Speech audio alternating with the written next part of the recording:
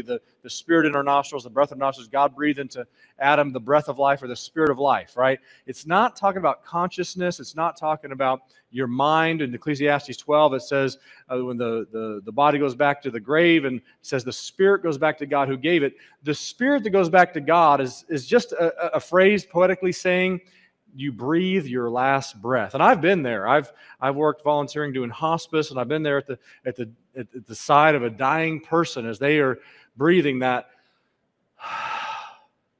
You know, and sometimes you got the death rattle, and there's, I mean, it's pretty tragic, but somebody breathing their last breath is what represents death. And of course, the body going back to the grave. Um, but that, again, I'm going to emphasize that is um, spirit. Spirit, and it's something about now. Sometimes the Bible uses the word spirit metaphorically uh, when it says like love the Lord your God with all your heart, with all your soul, with all your mind, with all your spirit. Right? Um, that's not talking about you know a portion of you like you like there's a part of you. It's talking about in that phrase. is talking about all that you are. Right? Um, and uh, and then you have the word soul. Soul, nephesh in Hebrew and psuche in Greek. That word just means person. It means living being. It means life. And so, uh, does your soul go back to God when you die? The answer is no. The soul dies. The soul ceases to exist until the resurrection day, in which God gives breath back to the body, and that becomes a new soul. I kind of think of it like uh, like a box. You've got uh, you got boards, you got nails. If you put the nails with the boards, you can get a box. If you pull all the nails out of the boards and all you have is boards laying there, where, where'd the box go?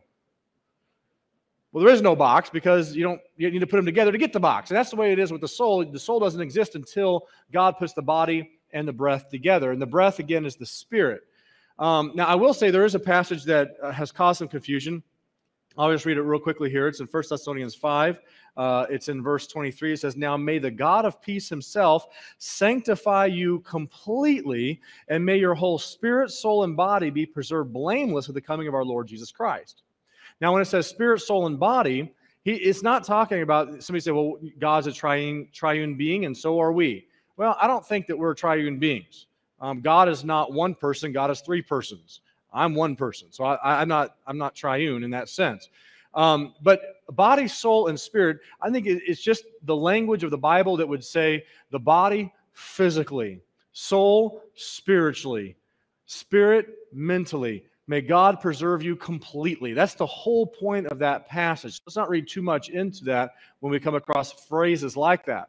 Um, so just just to be clear, um, the spirit refers to the breath of life. There's no consciousness there. The soul refers to the person. There is consciousness there. The soul doesn't go back to God when you die, your breath does. And, then, and when it goes back to God, it's just a simply meaning God takes it away from you. Because the righteous and the wicked, whether you're saved or you're lost, your breath goes back to God. Right? You give up the ghost when you die. You breathe your last. And so, anyway, I hope that helped clarify a little bit. There's a lot more that could be said on that topic. Perhaps I got time for one more question. Who's got a burning question tonight? Go ahead. I like your questions.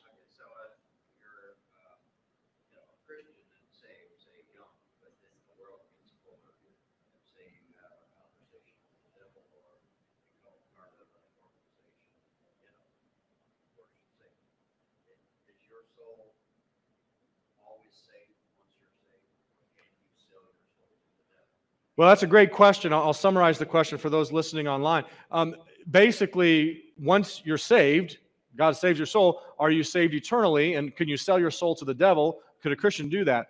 Um, well, let me just say this: I sold my soul to the devil um, in, a, in a very. I actually was reading the Satanic Bible and I was uh, wanting to become a Satanist, so I sold my soul to the devil. But as I then I got later on in the Satanic Bible where it said you don't even have to sell your soul to the devil. I just thought that was kind of ironic. But that being said, um, for I was never a Christian either, so I guess there were, that, that's not part of your question. When we become Christians, God writes our names in the Lamb's Book of Life. I don't care, uh, you know, if you're the most mature Christian or the least mature Christian, you put your faith in Jesus and your name's in the book. Amen? Whether your name stays in that book or not isn't determined based on, you know, I did a few good deeds or I did a few bad deeds. You know, it's not based on, you know, how good you've been and how bad you've been.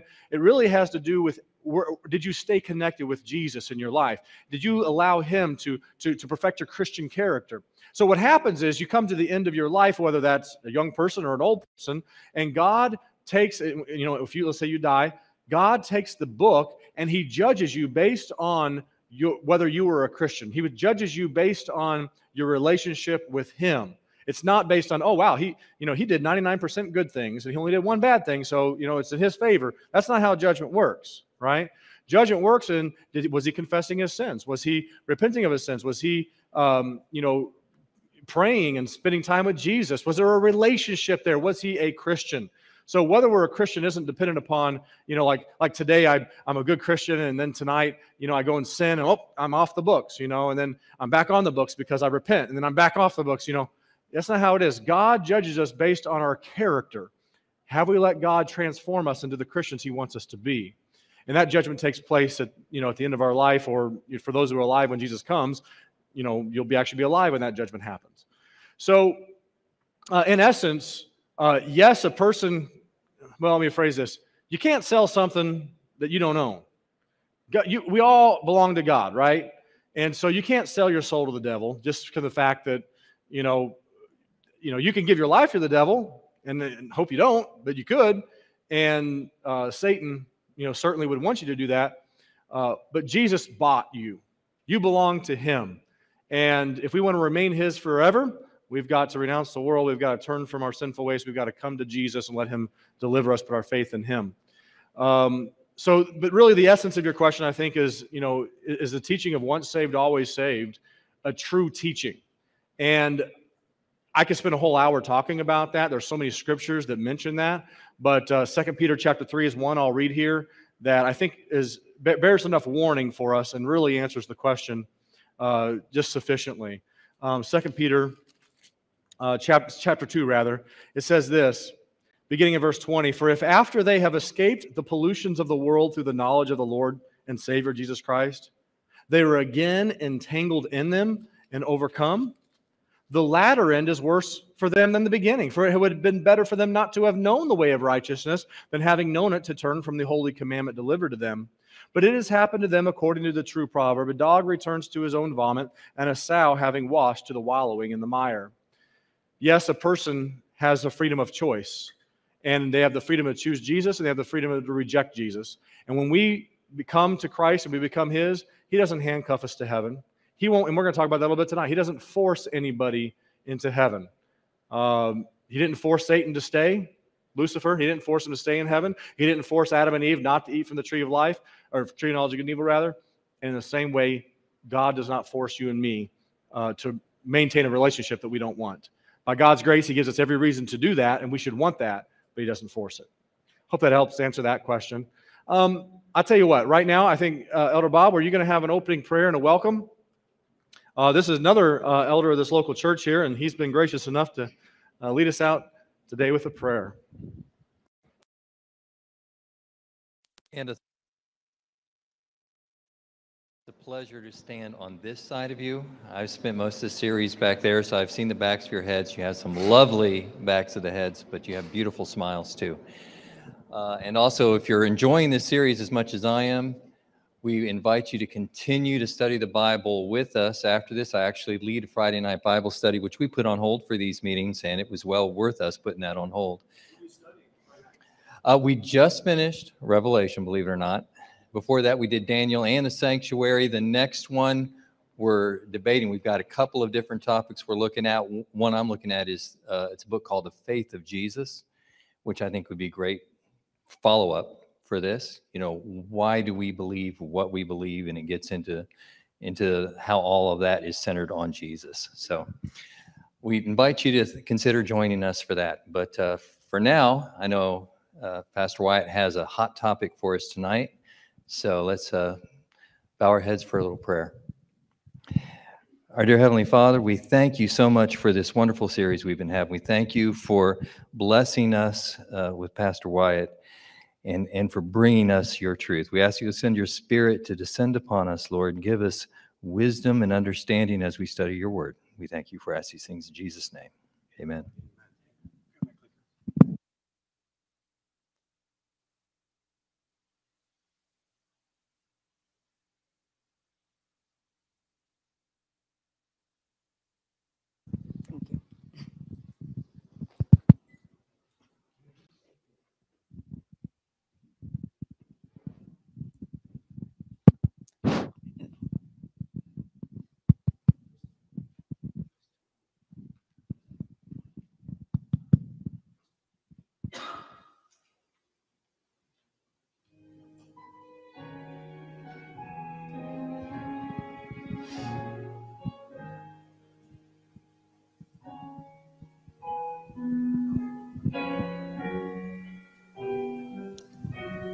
Let me start over.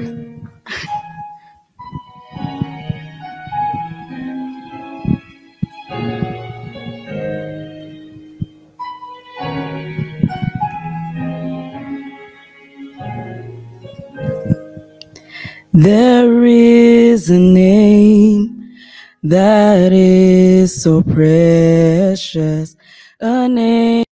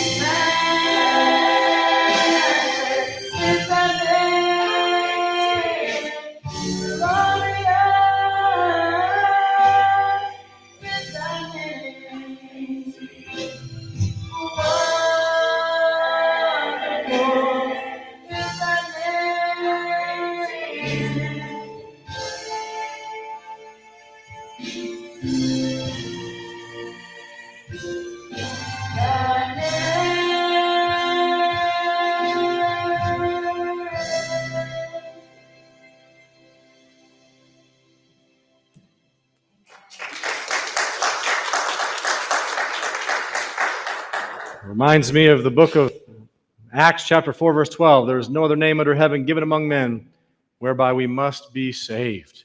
That name of Jesus. And I left my Bible. A preacher without Bible is like a soldier without a sword. No good. so, praise the Lord. Um, we have two presentations this evening. Uh, after this one, we're going to be studying at 7:30. Uh, Revelation, sorry, a desolate planet. That's our topic. And. But we're going to look at a thousand years. Uh, my sermon won't take a thousand years, hopefully, but it will uh, cover the period in Revelation chapter 20 that uh, explains what's going to happen after Jesus comes. And then uh, Sunday, let me get my clicker working here. Let's see. Let's try this.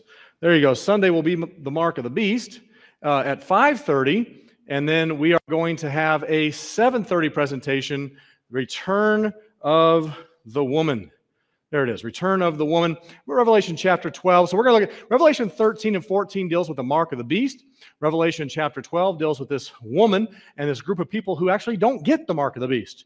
And it also deals a little bit in Revelation chapter 14 as well.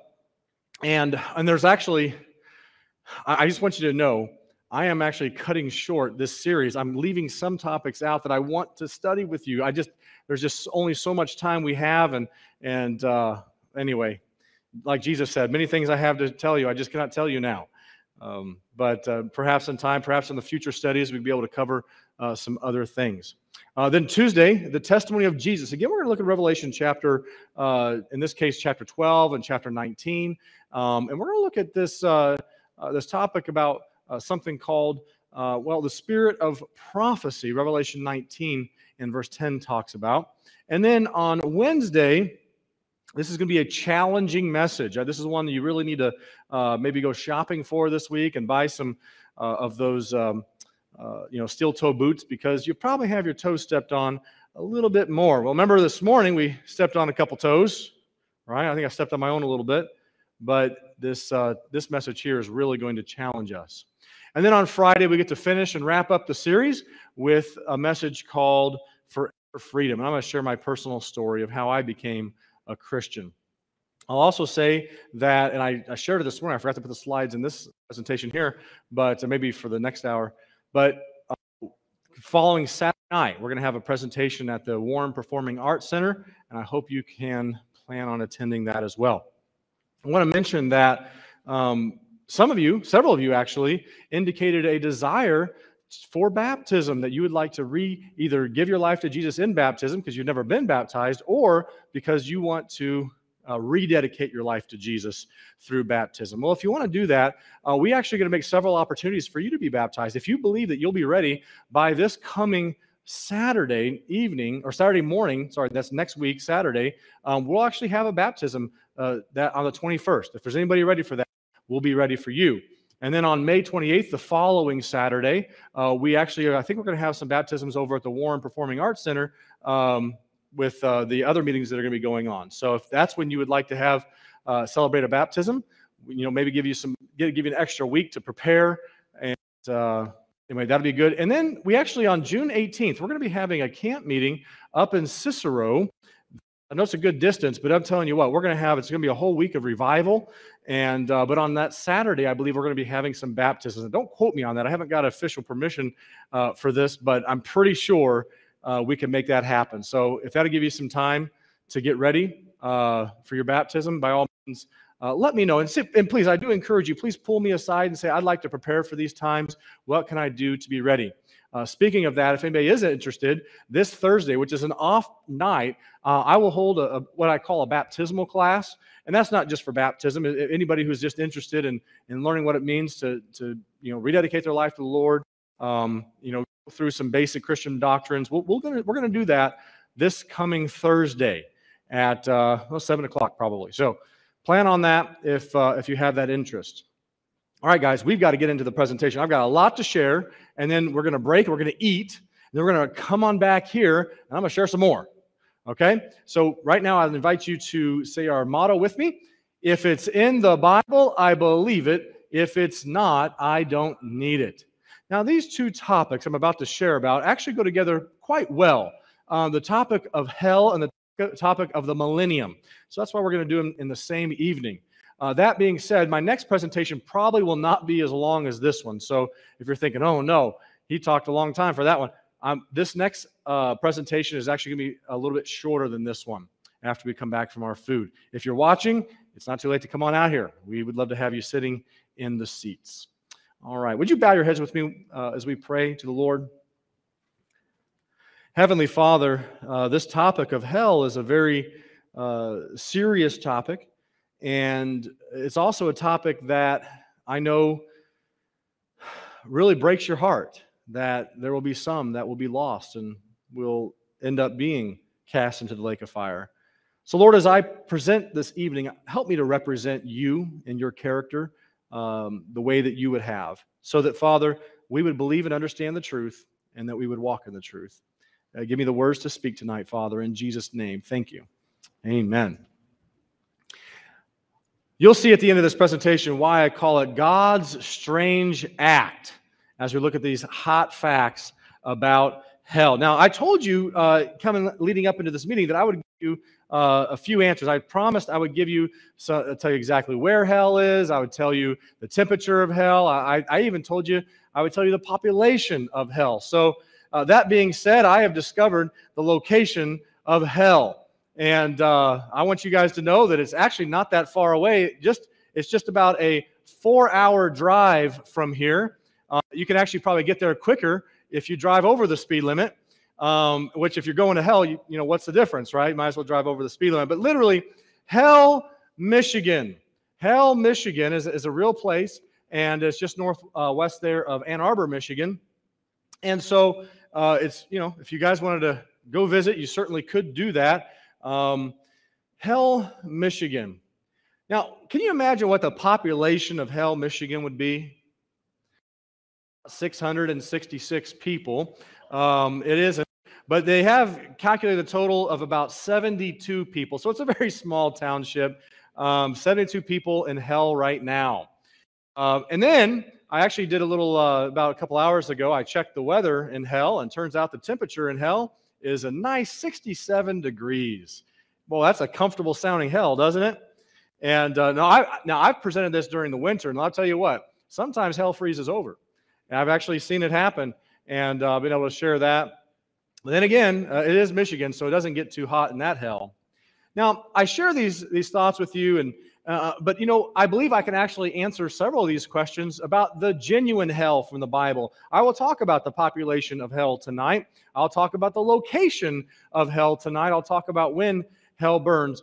But you know, before I really get into this topic, I just want to kind of lay a, a foundation of what some popular teachings are about hell. And it's actually fairly sad as you see what some preachers have said. Now, let me tell you, you've probably all heard a fire and brimstone sermon, haven't you? You've heard hell preached so hot.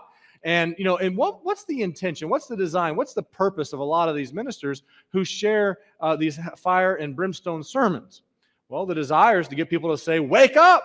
You're a sinner. You're going to burn in hell. You better repent right now." And you know what? It actually is pretty effective.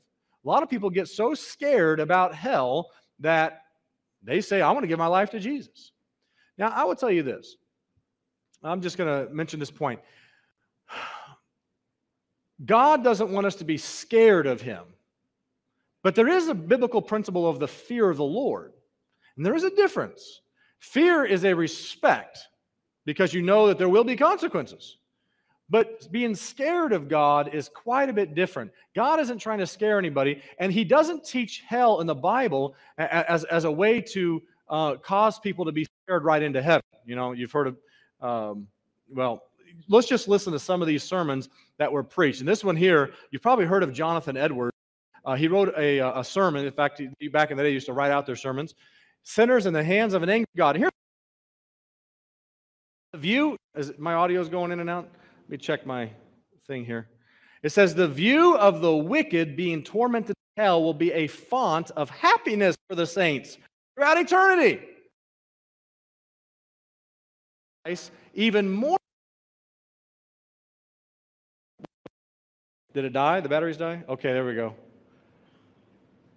Coming through the audio? Is it dropping the audio on the. Okay.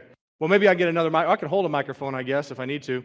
More precious to them. so let me back up, guys. I want to make sure we get the concept here because this is a teaching that a lot of Christians used to uh, believe. In fact, when it, whenever Jonathan Edwards, this is back during a time of great, um, oh, what do you call it? It's uh, uh, um, this this revival that took place in the early 1800s, late 1700s. Whenever he would preach, they would actually have great revival. People would, uh, you know, taverns into, into churches, and and you know, it was quite the uh, the fanfare whenever it come down. Bring it up here. I'll, I'll use that. I'll turn this off here. That's all right.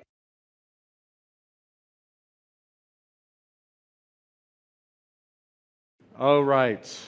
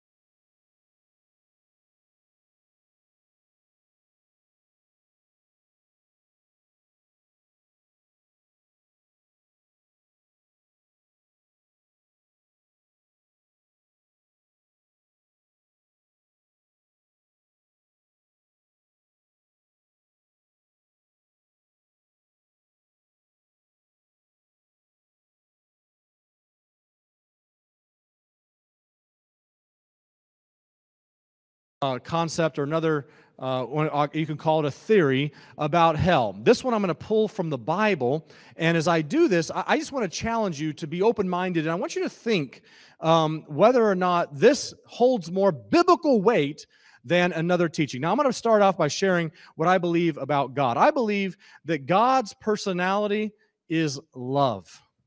And I also believe God doesn't change. I believe that God is the same yesterday, today, and forever. And I also believe that Satan wants you to believe that God is a tyrant. Satan wants you to believe that God is unfair.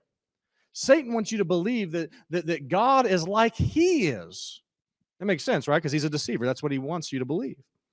But the Bible says in 1 John chapter uh, 4 and verse 8, it says, God is what? Love. God is love. So, and in this study today, I want you to let that principle of God being love kind of undergird this topic as we look at two concepts about hell, two popular concepts about hell unending torment or that. I'm not sure what that is. There it is. All right. Let's see, make sure my computer's charging. Okay. And then also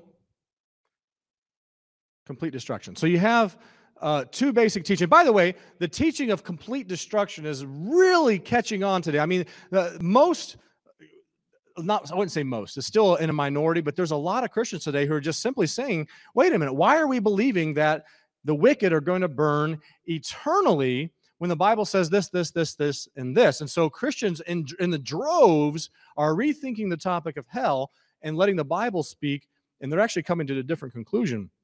And that being said, what I want to do tonight is give a just a, a Bible study on this topic, and may we continue to uh, be able to learn and grow and come to biblical conclusions without letting our prejudices or teachings or traditions affect us. Okay.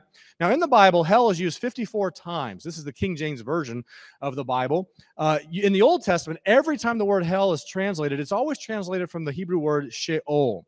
And in the Greek language, a lot of the times was from the Greek word Hades. And in both the time, anytime you see Sheol and anytime you see Hades, it is very simple. It just means grave. So Hades means what? Grave. Sheol means what? Grave. And I'll tell you, this is this is across the board, just factual information, concordances and and lexicons, everything bears this out. It just means the grave. Now, look at some examples. Job 17, 13. Job says, If I wait, the grave is my house. And again, that's the word Sheol, is my house. I have made my bed in the darkness.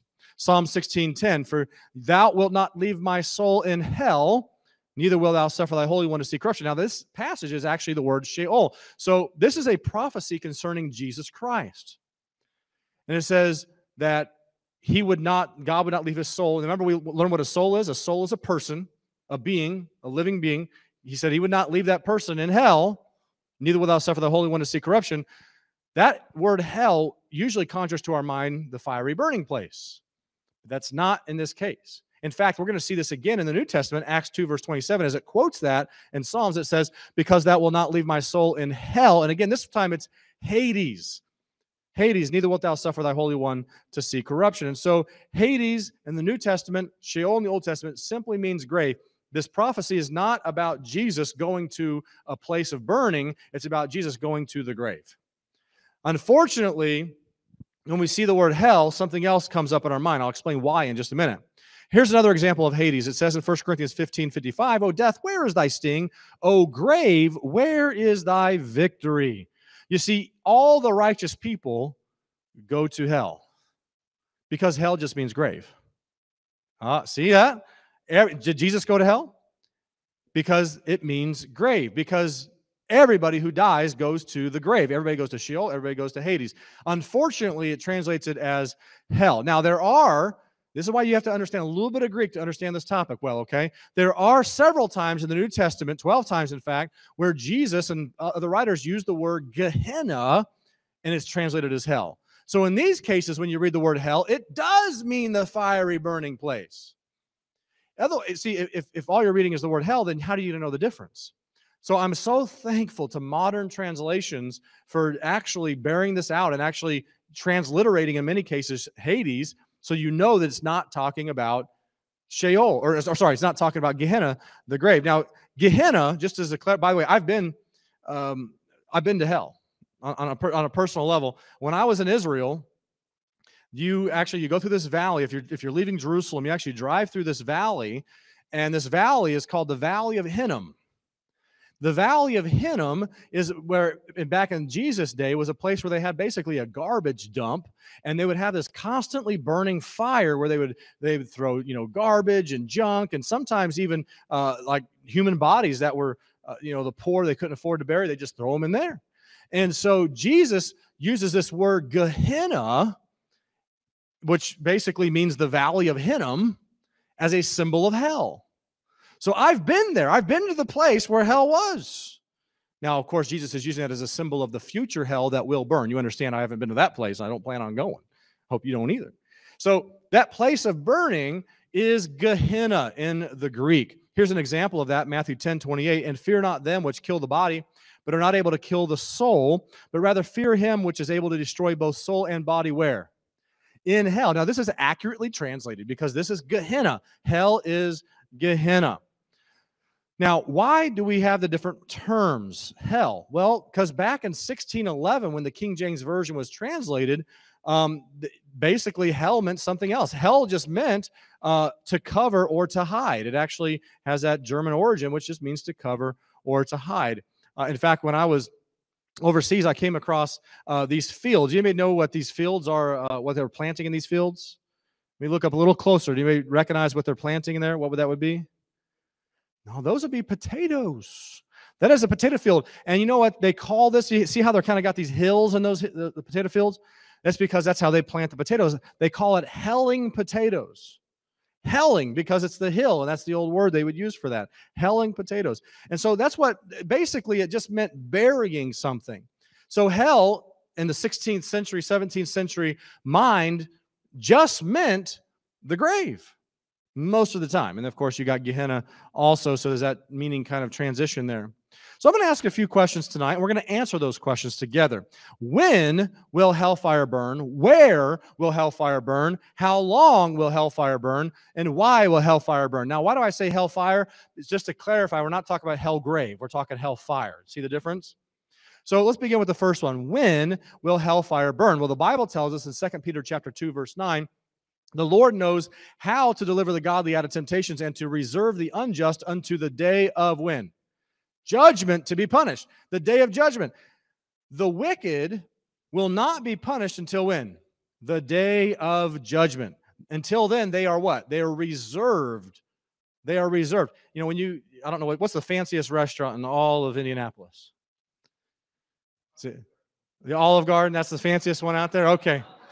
I, I think we're all on a budget in this room, and uh, that's about as fancy as it gets for those on a budget. So let's just say we call up Olive Garden and, and say, you know what, reserve a spot for me tomorrow night at six o'clock. We're going to have dinner there. No, of course we're not because we're going to be here tomorrow at six, but you get the idea.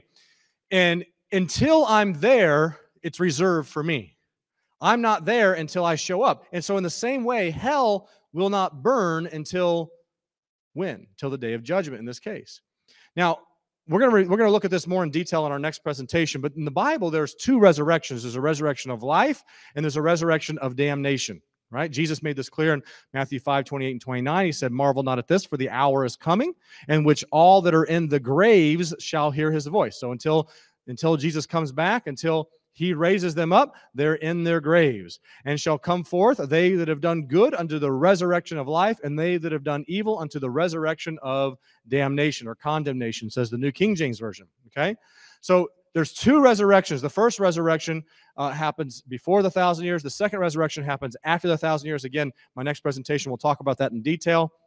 Here it says in Revelation 20, verse 5, the rest of the dead live not again to the thousand years were finished. So the wicked don't come up in their resurrection till after the thousand years. And after they come up in the resurrection, after the thousand years, Revelation 20, verse 9 says, they went up on the breadth of the earth and surrounded the camp of the saints in the beloved city. So here the wicked are now surrounding the New Jerusalem. And what's the Bible say in verse 9? Fire came down from God out of heaven and did what? Devour them. This fire that comes down that, make, that makes the lake of fire, this happens when?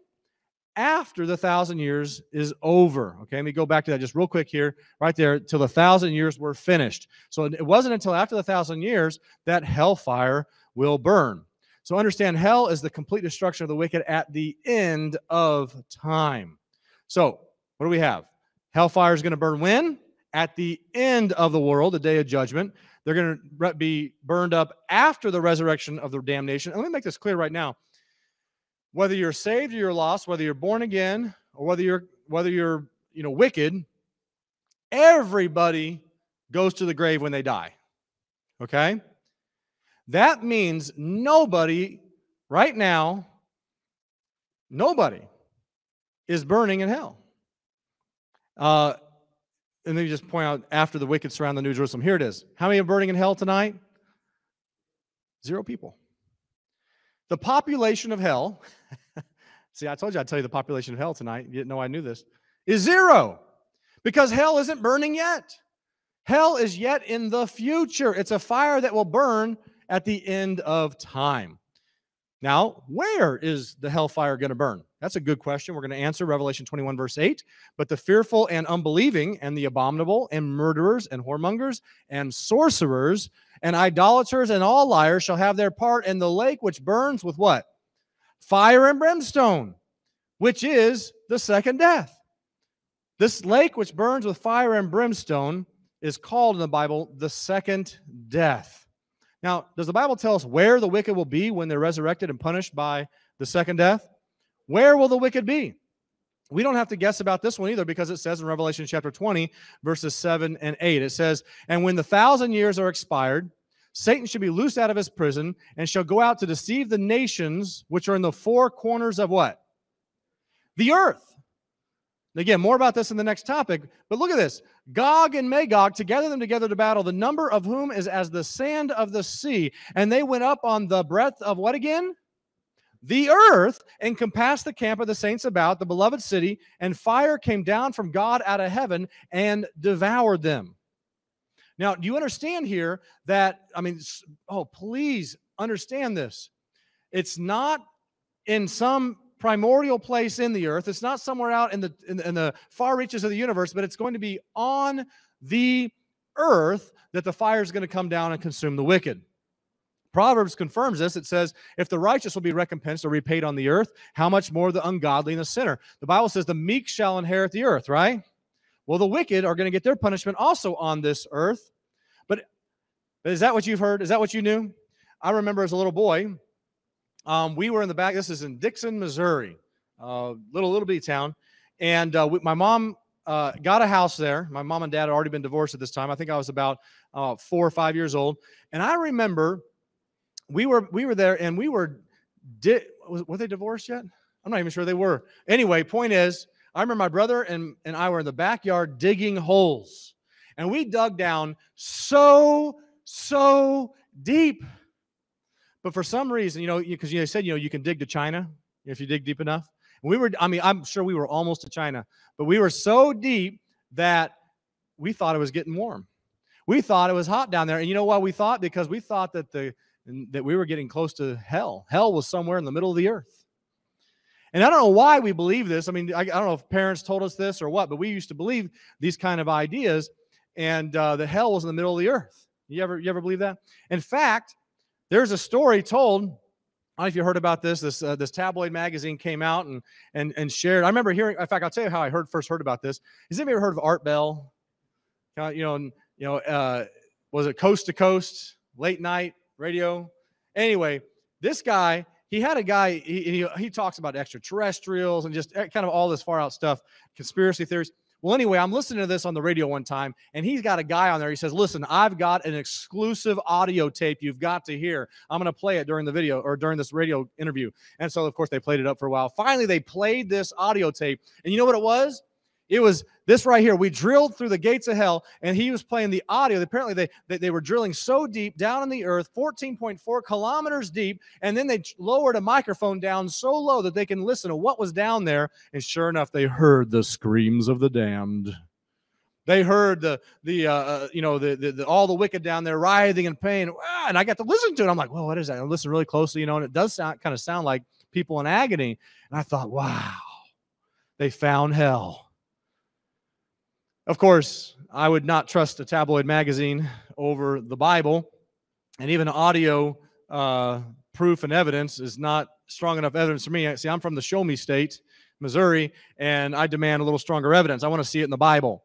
Friends, hell is not a hot spot in the center of the earth. But I did think, though, when I first started studying this out, I thought, well, you know what? It kind of makes sense if hell's in the middle of the earth, because it doesn't. Don't the scientists tell us that the the the core of the earth is like you know uh, a magma and, and hot, and you know it's just it's intense and on fire.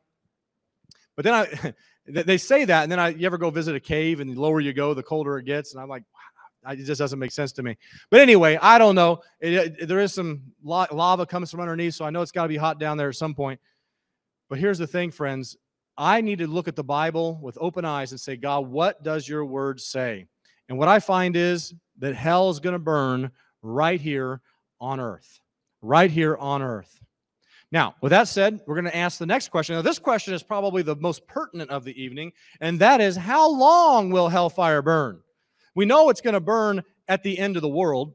We know the hellfire is going to burn right here on this earth. But when hellfire starts burning, how long will it burn? Well, we don't have to guess on this subject either. In fact, I would say the Bible is more clear on this topic than on most topics in the Bible. Go back to the story of the Sodom and Gomorrah. Go back to the story of when God told told um, uh, Abraham, "I'm going to destroy Sodom and Gomorrah with what? Fire and brimstone." And why was he going to do it? Because of their wickedness, right? And so here's what it says in Jude 1 7 Even as Sodom and Gomorrah and the cities about them in like manner, giving themselves over to fornication and going after strange flesh, are set forth for an example, suffering the vengeance of eternal fire. So Sodom and Gomorrah, they were burnt to a crisp. They received fire and brimstone. And that's the same language the book of Revelation uses. In fact, I believe when we read about fire and brimstone Revelation, it's he writes these with terminology that's designed to make us go back to the Old Testament and find out where these symbols are used. And so fire and brimstone, uh, it's not a symbol. Fire and brimstone is a literal thing that happened to Sodom and Gomorrah. And so here it says that they suffered vengeance of what kind of fire? Eternal fire. Sodom and Gomorrah were burned up with what? Eternal fire. So they become an example of eternal destruction that happens at the end. But here's a question for you Is Sodom and Gomorrah still burning today? Now, again, I tell you, I've, I, had the privilege of traveling through Israel, and I looked for Sodom and I looked for Gomorrah, and I happened to find the, the, the, the old ruins of the city of Gomorrah. And guess what? Nope, it's not on fire. It is not on fire anymore. In fact, here's what it says in 2 Peter chapter 2, verse 6. And I'm going to play a video here in just a second, so you might make sure the volume's turned up. But it says, And turning the cities of Sodom and Gomorrah into ashes, condemned them with an overthrow. Turn Sodom and Gomorrah into what? Into ashes. What does that mean? That means that they were completely destroyed. And then it says what, what Jude also said is making them an example unto those that should after live ungodly. So, what does it mean burned up with eternal fire? Does it mean the fire burns eternally? No, it means the results are eternal, irreversible. When you turn something to ashes, you're not bringing it back. In fact, the only one who can bring something back from ashes is God. And God doesn't say he's going to bring the wicked back from ashes or Sodom and Gomorrah. Now, if you go travel throughout Sodom and Gomorrah today, you can actually find thousands upon thousands of these sulfur balls. Okay. These sulfur balls are, are actually this, I believe, what the Bible talks about brimstone. And I just so happen to have one right here. And you can uh, maybe if you want to check it out later, I'll open this. I sent this little baggie here. I'll open this up later. You smell it, and it smells like sulfur. This is biblical brimstone.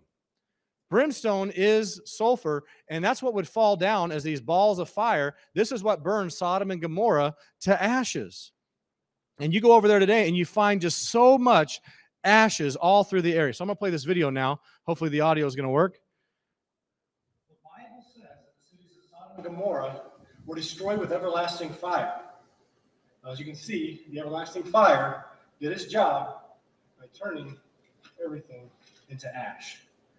Here is what possibly could very well be either Sodom and Gomorrah or one of the five cities that were destroyed by just ash all around. Bible is true, and you can know it. Amen. That was a few years back, but I'll tell you something. The um, what I discovered over there. By the way, it turned out later that this was Gomorrah. There, not too far from Masada, where that's at, and right there by the Dead Sea. But what, what I discovered is is that God, when He says He's going to do something, He does it.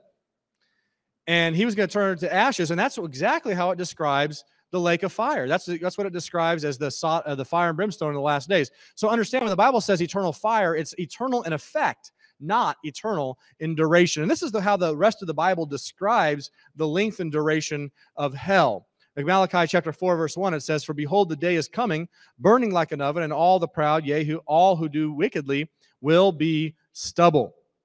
And the day is coming which shall burn them up, says the Lord of hosts, that will leave them neither root nor branch. It says it will burn them up. That's the language of hellfire. The wicked will not be tortured eternally, but rather they will be burned up. Malachi 4, verse 3 says the same thing about the wicked as it does upon Sodom and Gomorrah. It says, And you shall tread down the wicked, for they shall be ashes under the soles of your feet. Here again, again, I'm, I, I could, I'm not even going to share with you a, but a portion of the verses that make this so abundantly clear. Psalm 37, 9 through 11, for evildoers shall be cut off. But those that wait upon the Lord, they shall inherit the earth for yet a little while, and the wicked shall not be. Chew on that thought. God says the wicked are not going to be in existence. Very clear. Yea, thou shalt diligently consider his place, and it shall not be. A few verses later in verse 20, it says, The wicked shall perish, and the enemies of the Lord, like the splendor of the meadows, shall vanish. Into smoke they shall vanish away. The smoke, poof, they're gone. Obadiah 16, they shall be as though they had never been. God is going to get rid of sin, of sinners, and of course, Satan. In fact, get this now. I want you to really pay attention to this. Satan himself, but first of all, is that what the devil looks like? You think the devil's got a pitchfork and some horns? You got some leotards and uh, and a, uh, a pointy tail. You think that's the devil? You think he's got all that? Let me tell you something. The devil wants you to make make you think he's a cartoon. The devil wants to make you think he's all silly. Like, no, the devil was a beautiful angel, and he's a lot more tricky than this right now. You know, right? Looks like this, but you know, a lot of people think that the devil is in charge of hell. And I don't know. Hollywood certainly has made this out to be. Have you? Uh, it, I've watched countless Hollywood movies growing up. I mean, I watched every movie you can possibly imagine. And every case you have the devil. Uh, remember, uh, if, if you haven't watched these things, I hope you don't ever go watch them. But like Bill and Ted's Excellent Adventure and stuff like that, they went down to a subterranean place in the earth, un, like like somewhere in the earth, and they find Satan. And guess what Satan's doing down there? He's torturing the wicked. He's torturing the lost. He's usually it's Hitler down there, right? Satan's torturing Hitler. And you know what, what I, what I find fascinating is that somehow people honestly believe that Satan is on God's payroll. That God has Satan torturing the wicked. That somehow that the, devil is in charge. Now, but what's the Bible say what, what the devil is doing right now? When when he, God asked Job what the devil was doing, what's he saying? He's going around the earth, right? Bible says that that that uh, that Satan is like a roaring roaring lion goes around the earth seeking whom he may devour. Satan isn't somewhere in the middle of this earth. Satan is on this planet deceiving, tricking, and, and causing people to be lost. But I've read this book, and maybe anybody here ever read this book too? No, no condemnation. I read this book, 23 Minutes in Hell. Has anybody ever read that book, 23 Minutes in Hell? Nobody? Okay, I'm a little surprised. Well, 23 Minutes in Hell, this little book, uh, Bill Weiss, I think the guy's name who wrote it, this guy, I remember reading this book, and it, he tells the story about how he went to hell for 23 minutes. And he says, I wasn't a dream. He said, he didn't die. It wasn't like a near death experience. He said, I, God took him to hell so he could experience it, so he could warn people. And so he went down to this hell. And he describes hell and he all these d- dark dungeons and and you know, these demons. And he describes these demons It looks so hideous, worse than this guy here on the screen. I mean, he he described he eventually saw the devil and all these. Just he went in detail describing all of it, which he kind of contradicted himself because in one place he says it was so dark you couldn't see your hand in front of your face. But then he gives all these details. I'm like, how do you even see these details if you couldn't even see his hand? But anyway, um, but he describes how the demons were down there torturing the wicked. And he said, he, after he comes up after 23 minutes, he's like, and listen, this is a lesson for you. Don't go to hell, repent, turn to Jesus. And I'm thinking, wow, this is exactly what the devil wants. The devil wants to have you think that the devil's busy down in hell torturing folks. But what's the Bible really say about Satan? Watch this, guys. This is from Ezekiel 28 18. It says, Therefore will I bring forth a fire from the midst of thee. It shall devour thee, and I will bring thee to ashes upon the earth in the sight of all them that behold thee. According to the Bible, Satan is going to be tortured himself until he's finally burned to a crisp. He's going to be put, into, put out into ashes. He'll be completely devoured. And then it goes on in verse 19 to say, Never shalt thou be anymore. Now, I like that verse. I like the idea of no more devil. And throughout eternity, there's not going to be Satan. He's not going to be in existence. He's not, he's going to be done. He's going to be toast. He's going to be ashes. Now, if Satan's going to be ashes and the wicked are going to be ashes, my question is how can you have a hell if everybody who goes to hell becomes ashes? Hell will eventually come to an end. Hell will burn up. Satan is going to be cremated. Now, Matthew 25, 41 says, Then he will also say to those on his left hand, Depart from me, you cursed, into everlasting fire, prepared for the devil and his angels. Now remember, everlasting fire is the same thing as eternal fire. It's the results of the fire that's everlasting. It's not the fire isn't what burns forever. It's that the fire does what it does and it lasts forever. So who is going to burn in the fire? The devil and his angels, and those who um, follow him, right? Those on the left hand, the, in this case, the goats of Matthew 25. Those who don't help out the poor, those who don't feed the hungry, those who don't give water to the thirsty and clothe the naked. And that's, he says, those are the ones on the left hand. Now, I've shared this about the topic of uh, the duration of hell. But you might say, well, what about uh, there's, there's, a, there's a couple questions you might have. What about the Bible verses that says forever, that they would be burned forever? Well, there actually is. There's two Bible verses. There's only two, but there's two Bible verses in the book of Revelation that says that they would burn essentially forever. At least it sounds that way. So let's look at that here in the Bible. And uh, looking at verse Revelation 20 and verse 10, it says, They will be tormented day and night forever and ever. Well, hold on now. That seems pretty clear to me. Tormented forever and ever. All right. And then the other one, Revelation 14 11, says, The smoke of their torment ascends up forever and ever. So here you have two Bible verses that says that the torment will be how long? Forever and ever. Now, that's, I tell you, how, however you spin it, it's not a short period of time. But here's the question I have, and I, and I, and I really want to be honest about this. First of all, we're in the book of Revelation. When we read the book of Revelation, are we reading book, a book of symbols and signs, or are we reading a book where it literally describes most everything? It's a symbols and signs. So we have to be careful when we're reading Revelation not to read everything so literally. But not just that, the term forever and ever, we often think about forever and ever is like eternal, as long as God lives. But that's actually just not what the Bible teaches. Listen to this there's, a, there's actually several accounts in the Bible of things that are described as forever that actually have come to an end already. It's true. Um, in the Old Testament, there was uh, basically there was slavery. But the slavery, of course, the Old Testament was different because after seven years in slavery, usually was to pay off some kind of debt. After seven years, you were free. Seven years, you were done. Slavery was not a forever thing there. But let's just say the slave, he had it better with his master than he had you know, free.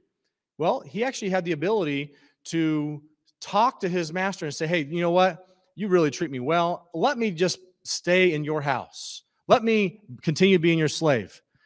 Are you sure? Okay, I'm sure. He said, well, as a sign of a curse of slavery, you know what God did? He had him put an awl through his ear.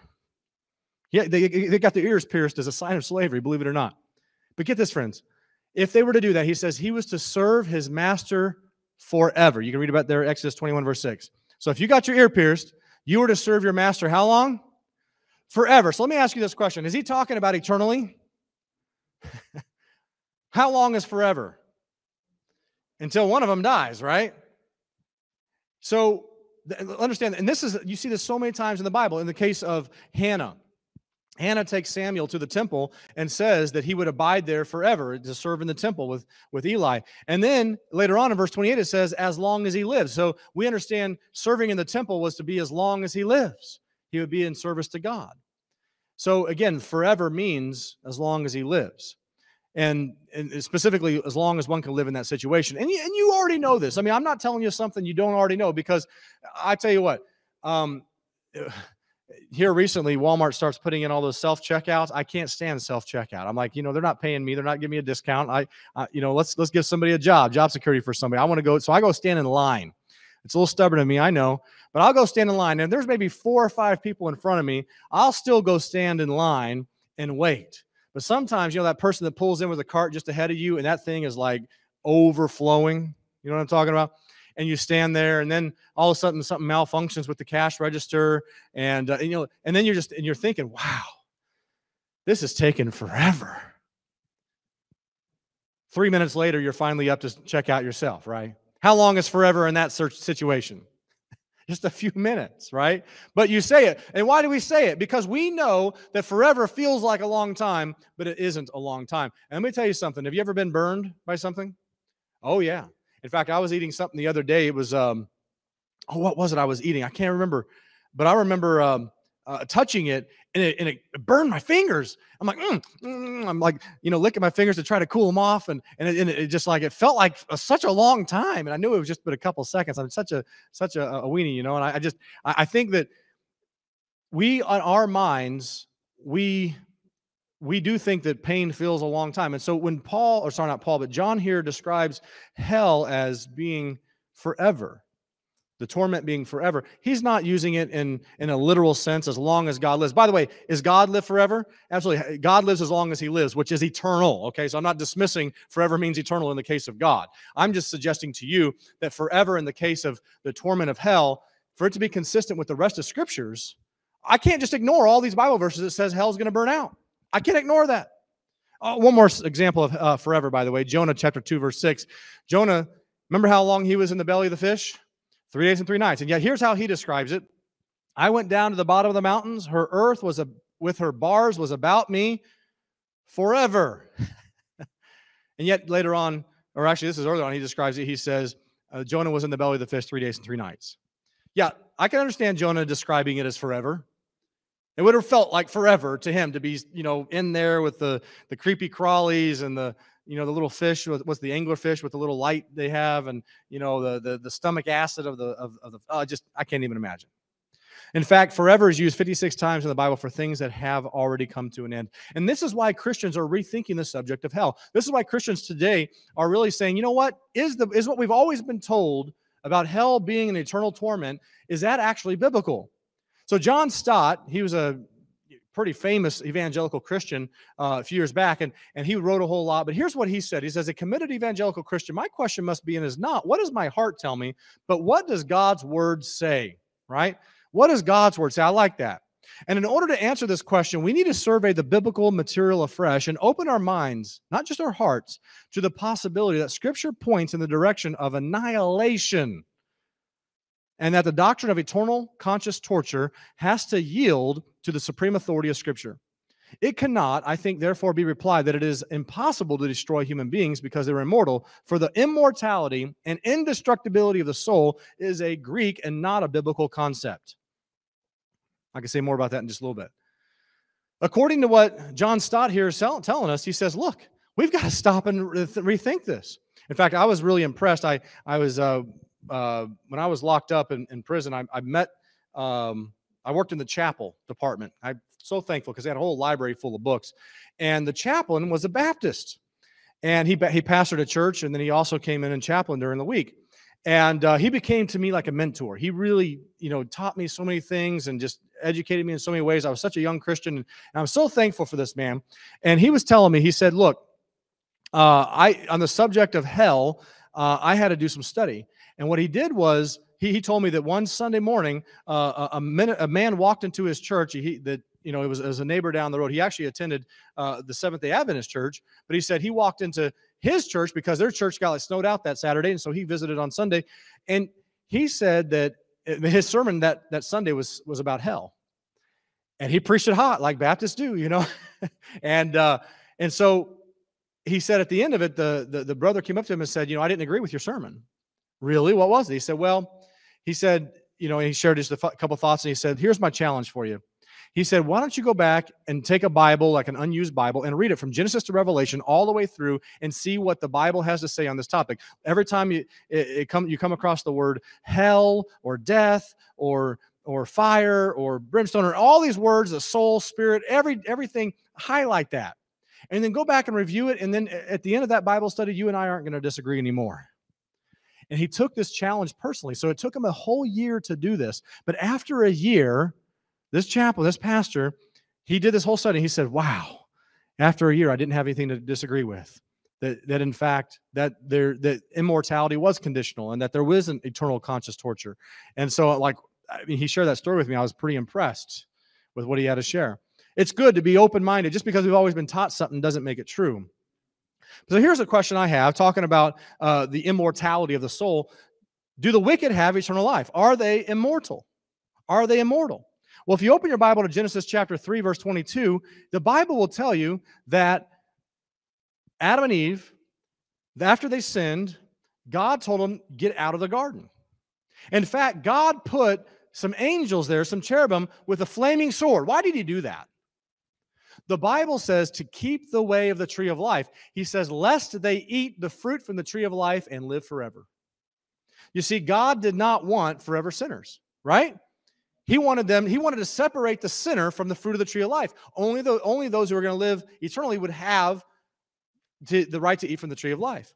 So when I learned this, for me, this is what actually convinced me because I, I didn't grow up with this idea. I didn't believe this always. In fact, when I first became a Christian, I thought, wow, those wicked should burn. Burn them up, God. They deserve it, you know, and just fry them like a, you know, I, I, really had some pretty crazy ideas. But when I when I started studying this topic, all of a sudden my mind began to be open to this idea that the wicked will not live eternally. So Genesis 3 basically says that he didn't want them eating from the fruit of the tree of life, lest they live it, eat it, and live forever. Now watch this. Ezekiel 18:4 says, The soul that sins, it shall die. God does not give eternal life to the wicked. Who does he give eternal life to? The righteous. Do we have a Bible promise about that? We do. Romans chapter 6, verse 23. The wages of sin is eternal fire in hell, burning eternally. Is that what it says? It doesn't say that. It says the wages of sin is death, but the gift of God is eternal life. And this is why this is so important, friends, because if when you die, you go to the grave, you're asleep, you're unconscious. Okay. The Bible calls hell the second death. After the fires burn you up, you're once again unconscious, this time never to be raised up again. There's no resurrection from the second death. There's no resurrection from the lake of fire. When the fire puts you down, you're down because the wages of sin is death. It's only the righteous that get eternal life. Please understand this concept. God does not give the wicked eternal life, even if it is to burn them.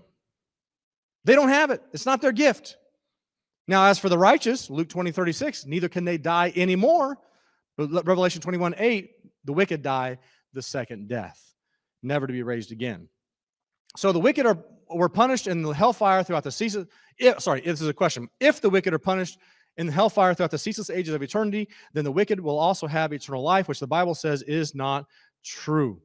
Because um, frankly, the soul's not immortal. Only the righteous get the gift of immortality.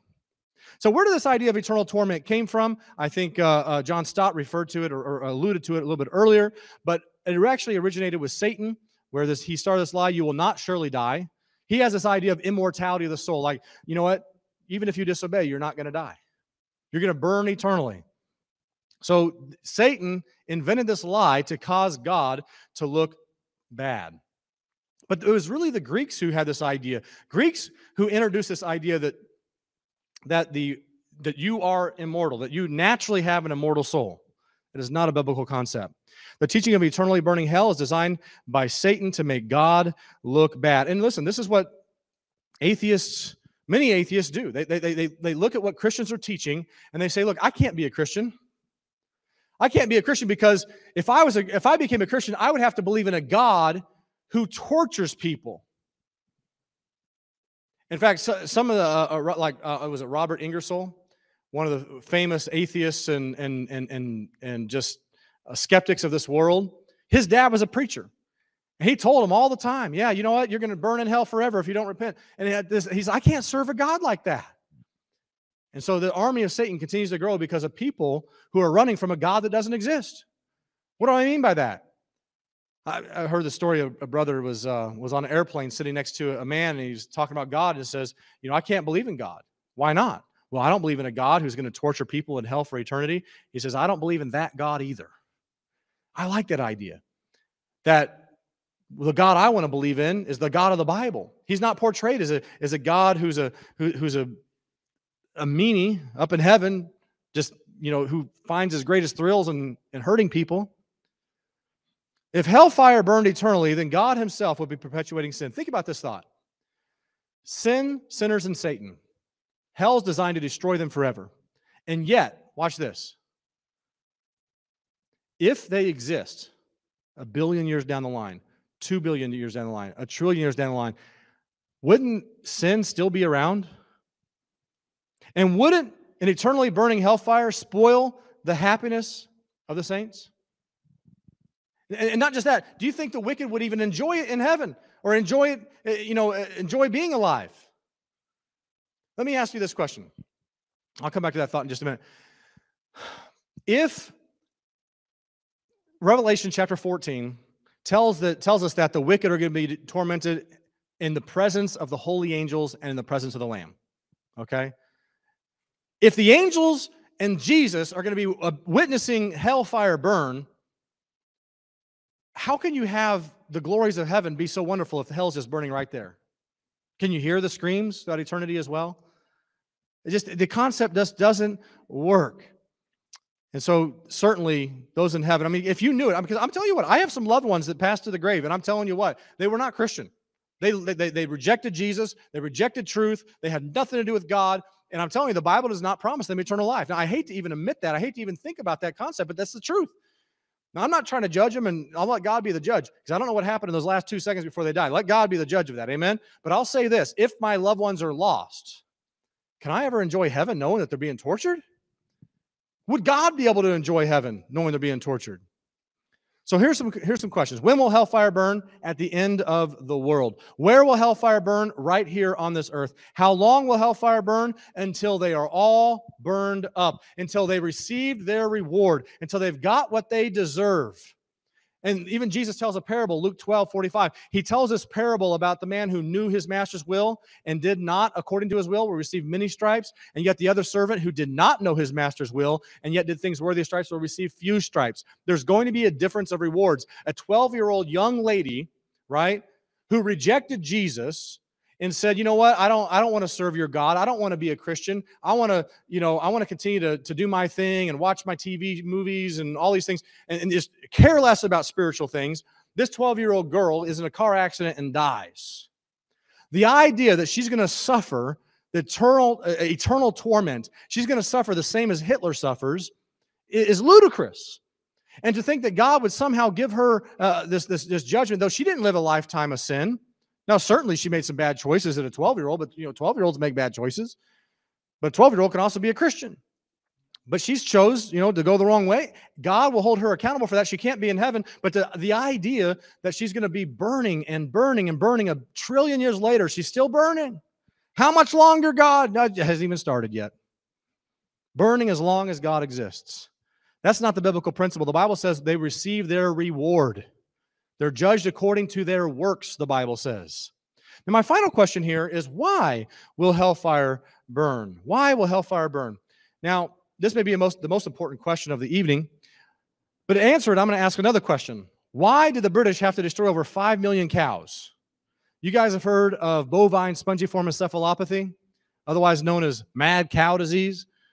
This resulted back, back I think it was the 1990s, I believe there was this, this epidemic of, of mad cow disease. These cows were eating other cows, you know, cannibal cows, and they were getting this these these um, um, they just you know basically these protein protein um, malformations, and they became I don't know all the details of it. I'm not a scientist, but like these prions started eating away at the brain, and, and all of a sudden the brain is turning to a sponge, and they'd go in these convulsions, and and these cows, and they was passing it on to other cows, and eventually it went from cows to humans as it became like Creutzfeldt-Jakob disease, and and and so it was it was crazy. It was it was like a nightmare situation, and they had to do something about it. And so uh, Britain decided they had to do something, and they decided to kill the cows. Over 5 million cows slaughtered so that the disease would stop spreading. Now, do you think they wanted to do that? Well, I mean, most of the cow farmers wouldn't mind doing that over time, but they want to sell the cows for money, not losing their their uh, their investment, right? Regardless, here's my point. God does not God doesn't want to see anybody suffer. God doesn't want to see anybody go to the lake of fire, right? But he's got to deal with the sin problem on this planet. Satan has started an epidemic of lies. And God is going to eventually put out that epidemic. And he's going to use fire. Now, the Bible says, I take no pleasure in the death of anyone, declares the Lord. Ezekiel 18 32. He doesn't take pleasure in this. He doesn't want any, he wants every soul to be saved. In fact, that's what it says. I think in Second Peter chapter 3, it says he's not willing that any should perish, but that should all should come to repentance. Amen. Isaiah 55, 7. This is the where I get the title of um, no, this isn't it actually. Let the wicked forsake his way and the unrighteous man his thoughts, and let him return unto the Lord, and he will have mercy upon him and to our God, for he will abundantly pardon. God will pardon anybody who comes to him. Isaiah 28 21, this is where the, the sermon title comes from God's strange act. For the Lord will rise up as in Mount Perazim, He shall be wroth as in the valley of Gibeon, that he may do his work, his strange work, and bring to pass his act, his strange act. Let me tell you something about the character of God God is love. And for a loving God to destroy the wicked, including Satan himself, is a strange thing. That is not in God's natural character. He doesn't want to destroy anything, but it's a necessity to destroy the cancer that's called sin. It's, and I'll tell you, you know, it's like, uh, let me try to illustrate this here. Um, you know, I got a, this is good. I like this. I got an idol right here. This man of sin, or this, uh, this, this metal man here, uh, head of gold, chest. You guys know this Daniel 2 image here. But I want you to picture this and use this as a symbol of sin. Some people really like sin. Oh, it makes them feel good.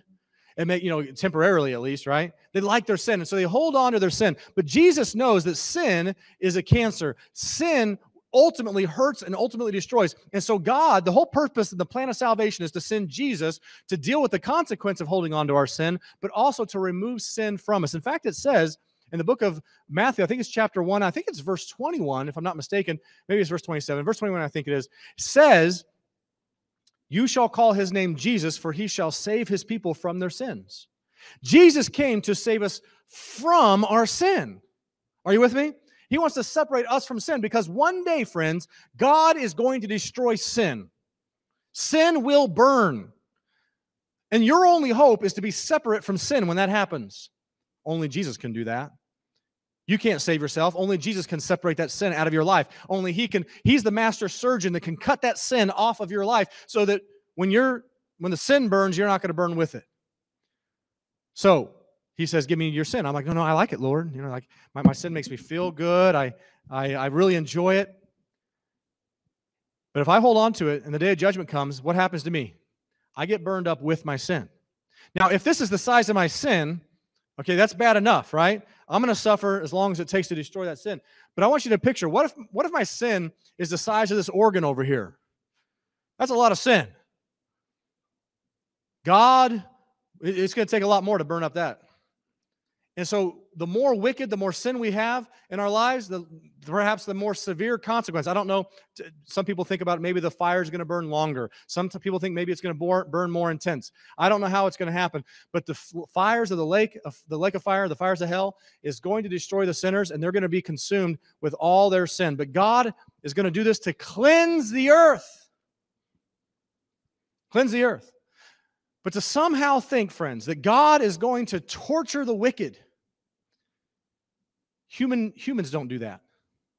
Humans don't don't don't don't the, the worst earthly judge you can think of will not sentence somebody to be tortured reprehensibly. I, I want you to picture for a second a scenario. Let's say you got this kid, and you know most of you guys probably in here are parents or will be parents one day. And let's say you got a little boy, and he's playing with his toys in his room. You come in, it's just a disaster. You say, "Son, clean up your mess." You come back in 30 minutes later, it's still a mess. And you say, Look, this is the last time I'm giving you a warning. If you don't have this cleaned up, you got it coming to you. So you come back in a few minutes later, and he hasn't moved a thing. And so you said, All right, you got it now. And so you say, let's say he has 11 toys still laying out there. And so you're going to spank him for an hour for every toy he left laying out. So you start so 11 hour spanking for not cleaning up his toys. What parent would do that? The worst parent in the world would not do that. And what kind of what, what would you do if you found out a parent was doing something like that to a kid? What would you do? You'd report him, wouldn't you? And you should. That's just not humane. Let me tell you, the Bible says, Shall mortal man be more just than God? If a human being would not do that, you think God would do that? You wouldn't do it to an animal cause an animal to suffer like that. You, I mean, you have to be a sociopath to torture in that way. Let me tell you, people paint God in that kind of light, and that's not what the Bible says. They well, God's a just God. He has to be fair. Well, you know what? If God's a just God and he has to be fair, then how can he sentence people to, to suffer and burn? And picture this as long as God exists. Doesn't make sense, friends. We serve a loving heavenly Father, one who loves us. God is not a monster. The Bible says the fires of hell will burn out. I'm not to tell you here, I'm not trying to tell you there is no lake of fire. There will be a lake of fire, and the wicked will suffer. But the purpose of hell is not to torture, to, to make them suffer, to make them hurt. The purpose of hell is to get rid of sin. Hebrews 2 3, how should we escape if we neglect so great salvation? Friends, God has done everything to save us possible. If we reject it, it's because we've chosen to reject it. John 3:16 for God so loved the world that he gave his only begotten Son, that whosoever believeth in him should not what? Doesn't say burn in hell eternally. The consequence of rejecting Jesus is perishing. But that's not what he wants. He wants you to accept him. And if you do so, if you put your faith and belief on him, it says you will have life everlasting. Nahum 1 9 and 10 says that sin would not rise up a second time. Praise God. No more sin, no more sinners. And listen, even if even if God let somebody slip into heaven who was a sinner, unrepentant sinner, do you think they would enjoy heaven? You think a wicked person would enjoy the paradise that God's making? The answer is no. I heard a story about um, uh, a man. He was a, he was a, he just loved to gamble, and he was uh, he was traveling, and he came to this place where he found out there's an island where all it is is just gambling and parties. And he said, I, so he got his ticket and he went out. He got on the boat, and he's he's out there. It went out there too long, and he he looked around the boat and he realized there's a bunch of kids on this boat. In fact, there's a bunch of kids singing on this boat, and what are they singing? They're singing Bible songs. He goes to the captain and says, "Captain." Um, I'm getting on the, I'm, I'm heading toward the island uh, uh, where we're going to have some gambling. Why do we have all the kids on the boat? He said, Gambling? He says, No, sir, you're on the wrong boat. This boat's heading to the island where we're having vacation Bible school. He said, No, turn the boat around. I don't want to go to vacation Bible school. I came out to party. He said, Sir, we're not turning around the boat for you to let all these kids, you know, lose out on the opportunity to have the fun they're going to have and, and studying the Bible and singing and, and, and, and having that, you know, Bible camp. And so he was there and all he was so miserable he looked around there was no gambling there was no roulette table there was no poker there was no blackjack no no drinking and he was just miserable. And i'll tell you what friends if god would let anybody into heaven it would just be misery for them. It would actually be like hell. So god puts them out of their misery. I have a good news as well revelation 21 1 and I saw a new heaven and a new earth, for the first heaven and first earth were passed away, and there was no more sea. Watch this, guys.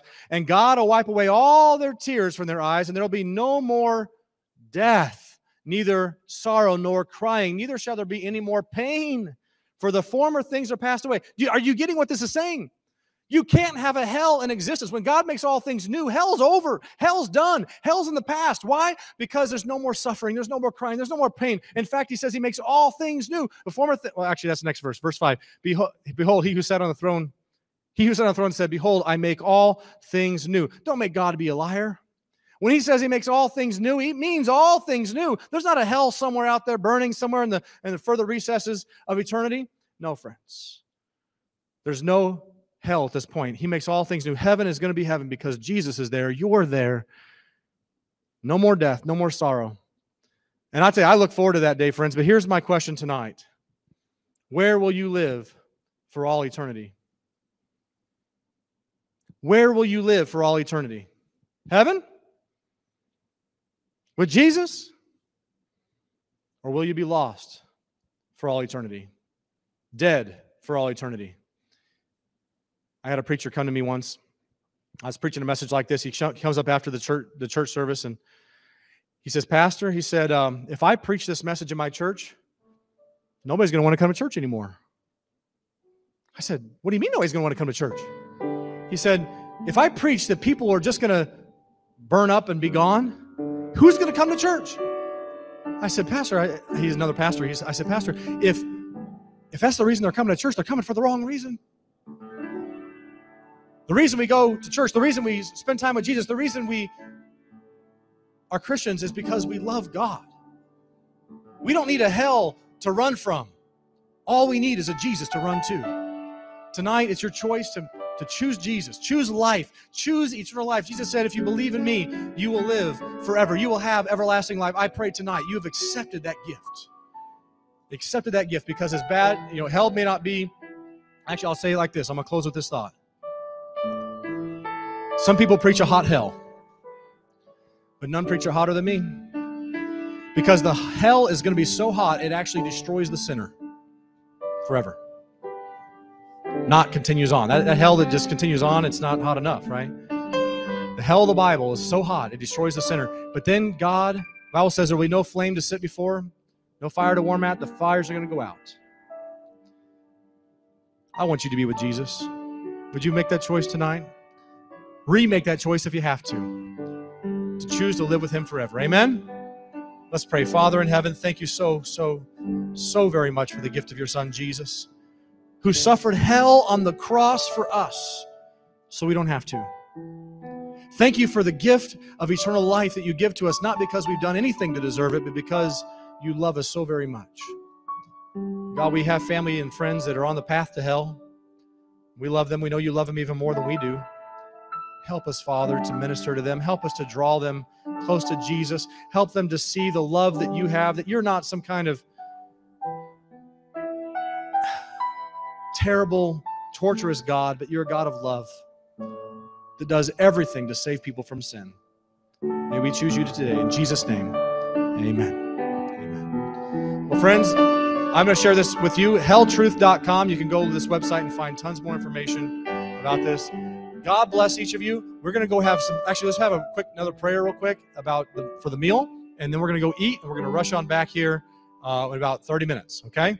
So, Father in heaven, we ask for your blessing this evening on the uh, on the time we're going to get to spend together. We bless you for providing the food. Thank you, Father, for those uh, that had prepared this food in advance, so that we can enjoy this fellowship together and uh, bring us back, Lord, as we continue to study your word about the millennium. In Jesus' name, Amen.